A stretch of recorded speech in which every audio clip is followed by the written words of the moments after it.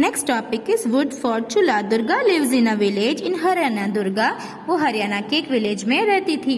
रोज वो क्या करती थी? अपने घंटों बहुत सारा टाइम वो वुड कलेक्ट करने में स्पेंड करती थी। किसके लिए वुड कलेक्ट करती थी? वो अपना चूल्हा जलाने के लिए स्टोव जलाने के लिए वुड को कलेक्ट करती थी। उसकी डॉटर थी वो, उसके साथ जाती थी और उसको हेल्प करती थी। और लास्ट थ्री मंथ से क्या हुआ? उसको बहुत कफ था, क्योंकि वो जो स्मोक था स्मोक की वजह से उसको खांसी हो रही थी। जैसे हम वुड को जलाते हैं तो स्मोक होता है ना, उसकी वजह से उसको थ्री मंथ से खांसी थी। फिर भी लेकिन दुर्गा के पास तो कोई ऑप्शन नहीं था। उसके पास पैसे कमाने का कोई दूसरा तरीका नहीं था कि वो कैसे खाना बनाए।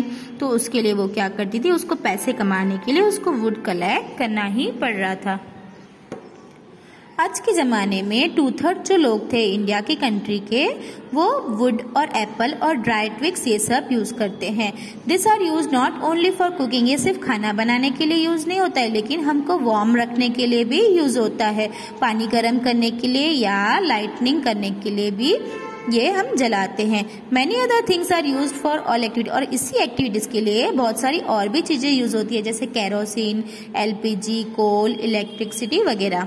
अब कंचा है had seen a bar chart Kancha ने बार चार्ट देखा बुक में तो the chart shows the number of houses जो चार्ट था, वो नंबर ऑफ़ हाउसेज बताते हैं कि हंड्रेड में से कितने लोग कौन से टाइप के फुल फ्यूल यूज़ करते हैं। It also shows the use of which fuel has increase और वो कौन से, कौन सा फ्यूल इंक्रीज हो रहा है, कौन से फ्यूल का यूज़ इंक्रीज हो रहा है, वो भी बता रहा है bar chart and which fuel has decrease और पास्ट ट्वेंटी ईयर्स में कौन सा फ्यूल डिक्रीज हो गया है, वो भी बता रहे हैं। अब यहाँ पे बार चार्ट है, देखो।